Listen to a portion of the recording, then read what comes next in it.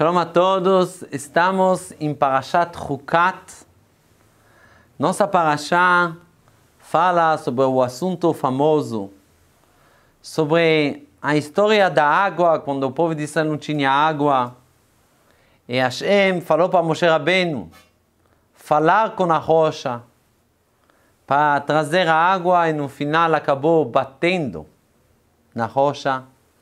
E por causa disso, Moshe Rabbeinu, ele não entra na terra de Israel. Então vamos analisar um pouco sobre várias coisas que temos nessa paraxá. Primeiro, nossa paraxá fala, Vayavou Bnei Israel Kolaida, chegaram todo o povo de Israel, toda a congregação. O que quer dizer toda a congregação? Rashi fala que a gente está falando aqui sobre a segunda geração, não a geração que saiu do Egito, a geração que nasceu no deserto, porque toda a geração que nasceu no Egito já faleceu. Agora a gente está com a segunda geração. E interessante de entender qual o motivo que precisa agora falar claramente que é a segunda geração. Isso é a primeira pergunta.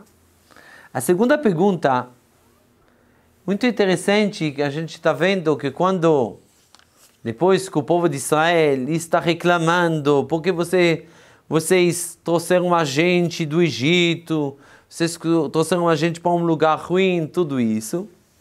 Hashem fala para Moshe, você vai segurar o bastão, vai pegar o bastão, vai reunir toda a congregação e você vai falar com a rocha à frente dos olhos deles. E aí ele vai dar a água. Então, algumas perguntas. Por que precisa pegar o bastão se ele vai acabar falando? Essa é a primeira pergunta. Segunda pergunta, por que precisa ser na frente deles, Lenehem, que eles vão ver a situação? Se eles não vão ver a situação, não vai ter água. Para que eles precisam ver a situação? E a terceira pergunta, verdade, qual a diferença em Parashat Beshalach, na Parashat quando saíram do Egito, está escrito que Hashem mandou Moshe bater na rocha. E agora, agora ele está mandando Moshe falar com a rocha. O que quer dizer isso? Então, para analisar tudo o que aconteceu aqui, gente precisa ver qual era o pecado de Moshe Rabbeinu. Tem vários comentaristas que tentam entender qual é o ponto do pecado, o que ele fez tanto de errado.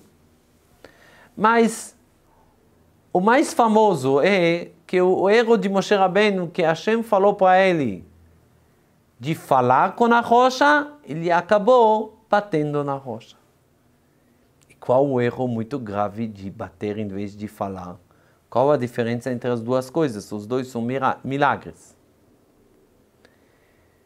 E depois a gente está vendo outra explicação que fala que o ponto de que Moshe Rabbeinu, o erro de Moshe Rabbeinu, é por causa que ele falou Shimuna Amorim. Você precisa ouvir os rebeldes. Então, já que ele chamou o povo de Israel de rebeldes, por isso que Hashem ficou bravo com ele. Tem várias explicações. Na verdade, a gente precisa juntar mais explicações que são mais. Um está conectado um com o outro. Porque se tem várias explicações, a gente sabe, vários motivos leva a que não tem motivo. Então a gente precisa ver que os motivos, as explicações aqui são conectados um com o outro. Então vamos entender a primeira coisa. A gente falou porque fala aqui sobre a segunda congregação. Porque tem uma diferença entre a primeira congregação, primeira geração que saiu do Egito, entre a segunda. A primeira geração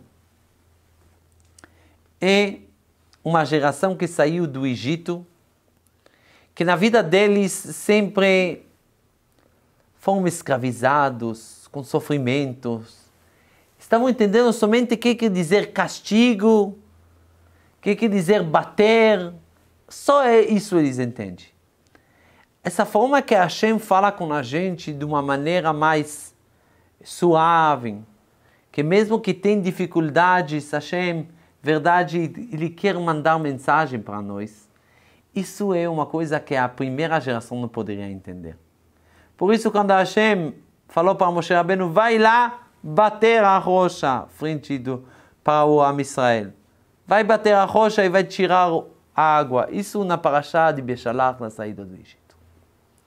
Mas aqui a gente está com a segunda geração. A geração que já não, tá, não vai estar mais no deserto, Hashem vai dar comida tudo para eles. E vai também castigar eles quando não vão fazer coisas erradas, como se fossem crianças pequenas. Que tudo é feito para eles, eles não entendem muito se você conversa. É, é isso, é a primeira geração. Aqui é a segunda geração. Tem uma situação mais de adultos. A gente agora quer deles na terra de Israel, construir a terra de Israel. Agora não vai ter tantos milagres, agora é para valer, é para trabalhar, é para construir. Já não é, não é a mesma coisa. Quando Hashem fala para Moshe Rabbeinu, ele fala para ele, olha, o povo de Israel está reclamando porque não tem água. Eu tenho como se fosse uma mensagem muito importante através de sua missão. Hashem tinha uma mensagem, uma coisa, uma missão muito especial. Qual é a missão que está atrás de tudo de trazer água? A missão é vai pegar o bastão, mas vai falar com a rocha. Quer dizer, na frente dos olhos deles, você vai mostrar que existe o bastão, mas verdade ou mensagem está falado. O que quer dizer? Para falar com Am Israel, que na vida existe dificuldades. Parece que isso é o bastão. Hashem quer brigar com a gente. Hashem não gosta da gente. Este bastão quer bater na gente, por isso que não temos água. Mas aqui, não, não, não, não, não. Verdade, Hashem quer falar e passar uma mensagem. Por isso fala Hashem, você vai falar com a rocha à frente deles. É um símbolo de, de olhar mesmo a dificuldade, de olhar o sofrimento, mas de entender que Hashem está se comunicando com a gente. Hashem gosta da gente. Hashem não quer castigar a gente. É isso uma mensagem muito mais elevada para essa segunda geração que já precisam agora construir a terra de Israel, precisam pegar uma responsabilidade deles. Acabou essa história como criancinhas, agora não é mais. Agora é uma situação que eles pegam, eles precisam pegar uma responsabilidade de agir de uma maneira quando tem dificuldades, não com uma maneira ah, todo mundo é contra mim. Não. Tem uma dificuldade, Hashem está se comunicando, está mandando uma mensagem aqui. Só olha, só tenta observar qual a mensagem que Hashem quer de mim, como eu posso melhorar. É isso o ponto que Hashem queria através de Moshe Rabbeinu. Por isso essa diferença na primeira paraxá, depois da saída do Egito, é para bater agora é para falar. Tem no bastão, mas Hashem se comunica. Isso é diferente. Por isso, precisa ser frente deles para entender essa mensagem. E por isso, já que uma mensagem para as pessoas que entram na terra de Israel, como poder lidar quando tem dificuldade? Se Moshe Rabbeinu ele fala para eles que são rebeldes. Se Moshe Rabbeinu não acredita que eles vão receber as mensagens de Hashem, então ele mesmo não pode ficar o líder deles para trazer eles dentro da terra de Israel. Para entender isso, tem uma história verdadeira, autêntica, incrível, sobre uma classe dentro de uma escola em Israel, que tinha lá dentro da classe um menino que fazia a bagunça que o professor não aguentava ele na sala. E o professor um dia chamou o pai dele falou: Olha, você tem uma escolha. Ou você pega seu filho e traz ele para outra escola, ou você vai dar para ele retalina. Vai dar para ele retalina, assim que não vai me atrapalhar na aula. Eu não consigo mais. O pai fala: Meu filho, está muito bonzinho. Você quer dar para ele retalina? Fala: Não tem como. Você vai dar para ele retalina, eu não aguento mais. Fala: Pai, tudo bem, eu vou dar para ele retalina, mas só me fala. De manhã eu não consigo dar para ele porque eu e minha esposa a gente está saindo muito cedo. Quem pode dar para ele essa retalina? Falar, o professor não tem problema, de manhã eu vou dar para ele. Qual o problema? Falar, o pai, mas frente de todo mundo, ele vai se envergonhar. O professor fala, não tem problema. Quando todo mundo vai entrar na classe, eu vou pedir para ele me preparar um café. Ele vai me preparar um café. E lá, quando ele vai estar na sala dos professores me preparando um café, ele vai tomar o comprimido, a retalina. Tudo bem. Assim que combinaram. Depois de algumas semanas, o pai pergunta ao filho dele: Como está indo na sala? Está melhor? Ele fala: Olha, muito melhor. Estou sentindo feliz na aula. Estou, conversa estou conversando com o professor, estou participando, isso é incrível. A aula ficou muito agradável.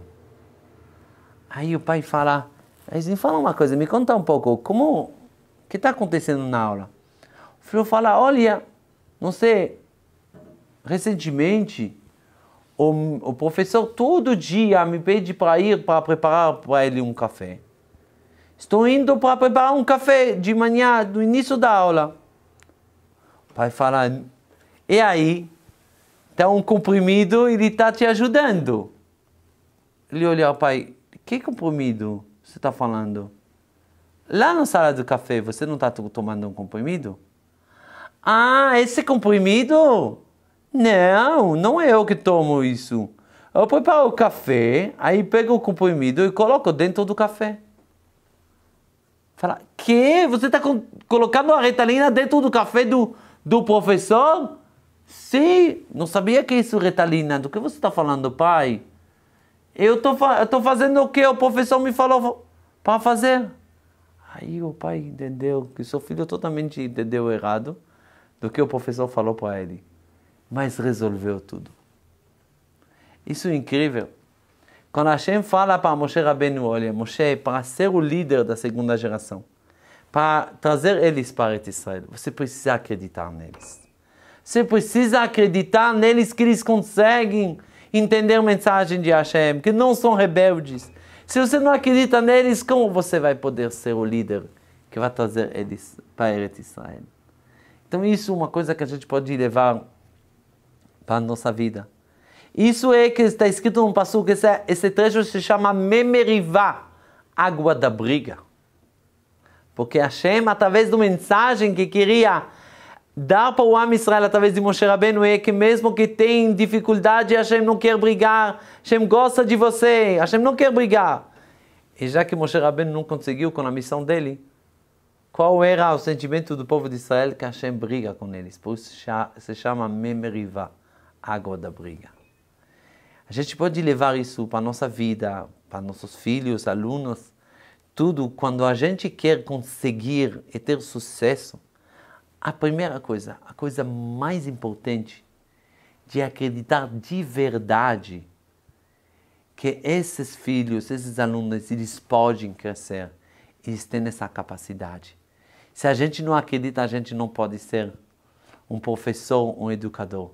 Isso é um grande, grande segredo na educação. Shabbat Shalom.